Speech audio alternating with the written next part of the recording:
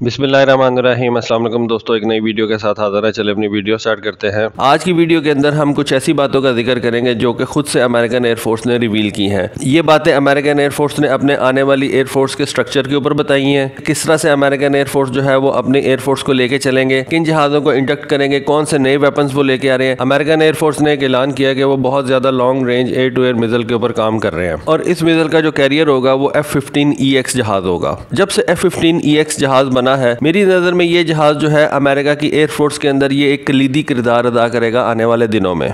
दूसरा एयरफोर्स ने ये कहा है कि हम 421 पुराने जहाज़ों को रिटायर कर रहे हैं और उनकी जगह पे 304 नए जहाज़ जो हैं उनको परचेज़ कर रहे हैं। 421 पुराने जहाज़ ख़त्म कर रहे हैं और 304 नए जहाज़ जो हैं उनको इंडक्ट कर रहे हैं। इन 304 जहाज़ों के अंदर अमेरिकन एयरफोर्स का कहना है कि नेक्स्ट जनरेशन एयर डोमिनेंस यानी कि एन प्रोग्राम के भी जहाज़ होंगे। यानी कि आप इनको सिक्स जनरेशन के जहाज़ कह सकते हैं। लेकिन ये इतनी जल्दी हो जाएगा इसमें थोड़ा सा मुझे अभी डाउट है। सबसे बड़ी जो लीक की है अमेरिकन एयरफोर्स ने ऑल दो लोगों को इस बात का पता था, लेकिन अमेरिकन एयरफोर्स का कहना है कि हम एक ऐसा जहाज़ बनाने जा रहे हैं जो कि एफ़ सिक्सटीन को रिप्लेस करेगा। और उन्होंने उसको एक नया नाम दिया है multi role fighter M R X यानी कि ये जहाज़ ऐसा होगा जो कि एफ़ सिक्सटीन से ज़्यादा एडवांस होगा और एफ़ थर्टी फाइव से थोड़ा कम एडवांस होगा। इसकी बासगस जो थी वो काफ़ी दिनों से थी, लेकिन अब अमेरिकन एयरफोर्स ने इसको ऑफिशियली जो है वो रिवील कर दिया कि हम ऐसा एक जहाज़ बनाने जा रहे हैं। अमेरिकन एयरफोर्स का एक प्रोग्राम था जिसको वो कहते थे long range engagement weapon L R E W ये बेसिकली एक एयर टू एयर मिसाइल के ऊपर अमेरिकन एयरफोर्स वर्किंग कर रही थी। इसके बारे में उन्होंने थोड़ा सा हिंट दिया था काफ़ी साल पहले, लेकिन उसके बाद जो था, इसको उन्होंने मंजर आम से खत्म कर दिया एटलीस्ट पब्लिक डोमेन में। बैक एंड के ऊपर इसके ऊपर वर्किंग आई बिलीव के जारी है, लेकिन इसको पब्लिक डोमेन से जो है, इसके ऊपर कोई बात नहीं की गई।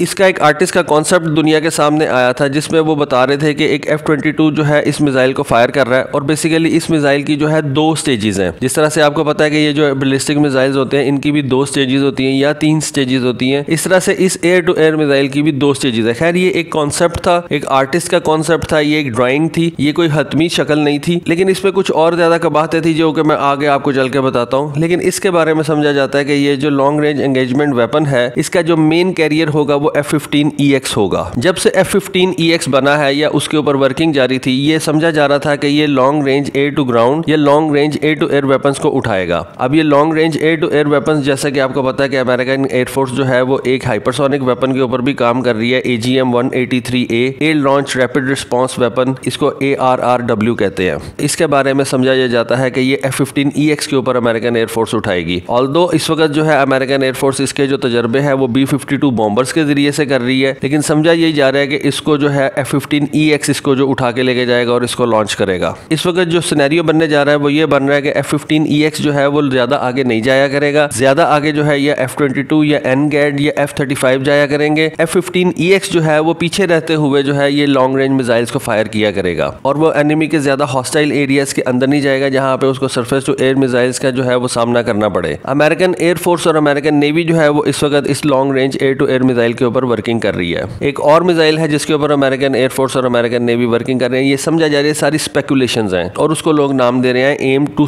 का। इसके बारे में यही कहा जा रहा है कि इसकी जो डायमेंशन है वो एमरेम जैसी है, यानी कि एम वन जैसी इसकी डायमेंशन है। लेकिन डेफिनेटली क्योंकि नया है तो इसकी परफॉर्मेंस ज़्यादा बेहतर होगी। फिर कुछ देर पहले मैंने आपको एक वीडियो भी बना के दी थी कि अमेरिकन एयरफोर्स एक नए एंटी रेडिएशन मिसाइल के ऊपर काम कर रही है। आपको जैसा क्या पता है कि अमेरिकन एयरफोर्स के पास इस वक्त A G M eighty eight anti radiation missile है, जिसको वो हार्म का नाम देते हैं। लेकिन बेसिकली वो एक नए एंटी रेडिएशन मिसाइल के ऊपर काम कर रही है और उसको उन्होंने नाम दिया है A A R G M E R basically A G M eighty eight G anti radiation guided missile extended range ये बेसिकली ग्राउंड पे पड़े हुए रिडार्स को टारगेट करता है। लेकिन इसके बारे में समझा यह जा रहा है कि ये एक एयर टू एयर मिसाइल में भी कन्वर्ट हो सकता है। और इसकी कुछ तस्वीर आई थी और इसके कुछ टेस्ट किए थे अमेरिकन एयरफोर्स ने एफ़ एटीन से। बेसिकली इस वक्त जो अमेरिकन एयरफोर्स को मसला बना हुआ है वो है पी एल फिफ्टीन का। पी एल फिफ्टीन के बारे में कहा जा रहा है कि इस वक्त ये जो है ये एक मिस्टीरियस वेपन है और ये आने वाले दिनों में जे ट्वेंटी को इक्विप करेगा। बहुत से लोग ये समझते हैं कि पी एल फिफ्टीन की जो रेंज है वो तकरीबन तीन सौ किलोमीटर है। आई डोंट थिंक सो कि पी एल फिफ्टीन की जो रेंज है वो तीन सौ किलोमीटर है। लेकिन डेफिनेटली पी एल की रेंज इतनी है कि अमेरिका इस वक्त बहुत ज़्यादा कंसर्न है।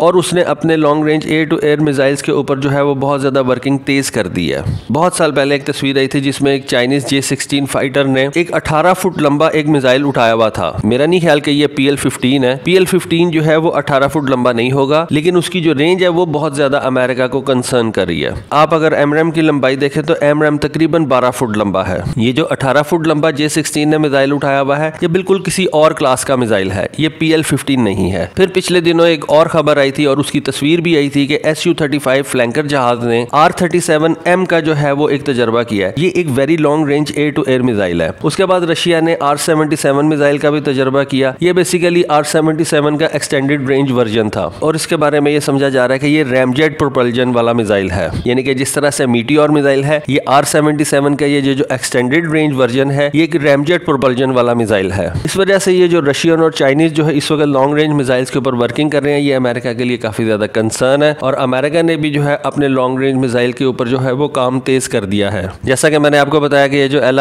मिसाइल है, इसकी दो स्टेजेस दिखाई गई है और ये एक एफ़ के वेपन बेस से फायर कर रहा है। तो ये थोड़ा सा मेरे लिए कंसर्न है कि एक टू स्टेज वाला मिसाइल जो है, वो एफ़ के वेपन बे के अंदर किस तरह से फिट होगा। इस वजह से यही समझा जा रहा है कि इसको एफ़ फिफ्टीन एक्स उठाएगा और वो पीछे रहते हुए इसको फायर किया करेगा। आगे एफ़ या एन या एफ़ जाएँगे और एफ़ पीछे रहते हुए ये लॉन्ग रेंज मिसाइल जो है एयर टू एयर मिसाइल्स भी और एयर टू ग्राउंड मिसाइल्स भी या जो हाइपरसोनिक मिसाइल्स है, उनको फायर किया करेगा। क्योंकि एफ़ फिफ्टीन बड़ा जहाज़ है और ज़्यादा बड़े वेपन लेके जा सकता है, लेकिन वो इतना ज़्यादा स्टेल्थ नहीं है, इस वजह से वो पीछे रहते हुए इन लॉन्ग रेंज मिसाइल्स को जो है, वो फायर किया करेगा। एक और अमेरिकन एयरफोर्स ने रेवोल्यूशन किया। खैर, ये उन्होंने पहले भी बताया हुआ था कि ये जो उनका बी ट्वेंटी वन बॉम्बर बनने जा रहा है, जिसकी नेक्स्ट ईयर फ़र्स्ट फ़्लाइट होगी, इसको उन्होंने नाम दिया हुआ है raider stealth bomber B twenty one raider stealth bomber ये जो है, ये एयर टू एयर कैपेबिलिटीज भी रखेगा। अब ये किस तरह से होंगी? क्या बी ट्वेंटी वन बॉम्बर जो है, वो खुद से एयर टू एयर मिसाइल उठाएगा? ये एक अभी तक क्वेश्चन है। या मेरा ख्याल है, ये ये हो सकता है कि जिस तरह से आपको पता है कि लॉयल विंगमैन वाला एक ड्रोन होता है बी ट्वेंटी वन के साथ कुछ लॉयल विंगमैन ड्रोन भी जाया करेंगे। लेकिन उसमें भी एक प्रॉब्लम आ जाती है कि बी ट्वेंटी वन की जो रेंज है, वो काफ़ी ज़्यादा है। एक ड्रोन की रेंज उतनी ज़्यादा हो नहीं सकती। लेकिन फिर उसमें एक और क्वेश्चन आ जाता है कि हो सकता है कि इन ड्रोन के साथ साथ जो है, एक ऐसा ड्रोन शामिल हो, जो कि स्टेल्थ भी हो और जो कि एयर रिफ्यूलिंग भी कर सकता हो। और अमेरिका आपको पता है कि उसके ऊपर वर्किंग भी कर रहा है। और उसका नाम है स्टिंग रे मैंने उसके ऊपर भी आपको एक वीडियो के अंदर बताया था। तो ये जो है, आने वाले दिनों में अमेरिकन एयरफोर्स जो है, ये बहुत ज़्यादा अपने अंदर चेंजेस लेके आने वाली है। सबसे बड़ी चेंज तो ये कि वो एफ़ सिक्सटीन का एक रिप्लेसमेंट जहाज़ बना रहे हैं, जिसके बारे में अभी तक बहुत कम लोगों को पता था। और उसको उन्होंने नाम दे दिया है एम आर एक्स उसके अलावा बी ट्वेंटी वन जो है, वो एयर टू एयर केपेबल भी होगा। लेकिन उसके लिए मैं समझता हूँ कि वो ड्रोन्स का सहारा लेंगे। खैर, आने वाले दिनों में देखें क्या होता है। एफ़ फिफ्टीन ई एक्स जो है वो अमेरिकन एयरफोर्स का जो है वो सेंटर पॉइंट बनने जा रहा है। लेकिन देखें, आने वाले दिनों में ये चेंजेस किस तरह से सामने आती हैं। खैर अमेरिका का जो बजट है, वो सबसे ज़्यादा है। उसको एज इट इज़ फॉलो तो नहीं किया जा सकता। उसकी आर एन डी को तो फॉलो नहीं किया जा सकता। तो देखें, आने वाले दिनों में किस तरह से वॉरफेयर चेंज होती है। होपफुली आपको आज की वीडियो पसंद आई होगी, आज की इन्फॉर्मेशन पसंद आई होगी। आप भी इस बारे में अपनी राय दीजिएगा कि ये किस तरफ़ चीज़ें जा रही हैं। आज के लिए बस इतना ही। Thank you